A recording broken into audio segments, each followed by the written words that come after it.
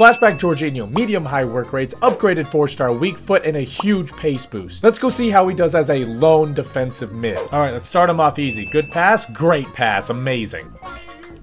Oh, Jorginho, you gotta stick with your man. Do defensive mids normally cover that? Someone needs to tell me. Have a good pass picked out? Something?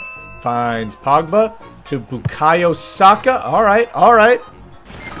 Puts his body on the line. You know what? I appreciate that. I so. Does it again. Beautiful. Even though his defensive awareness is low, his tackling is really good. I Again, can we go three for three here? so, Yes, we can. Well, I mean, his Jorginho intercepted me, so, so that's good. And then we tackle with our Jorginho. Jorginho with the 7.9, 4 out of 5 tackles plus an interception. So he is a good player, but you have to use him the correct way. In a one defensive mid set, you have to manually use him because of his 77 defensive awareness. You could also use him in a two defensive mid formation where he has just a little bit more extra cover.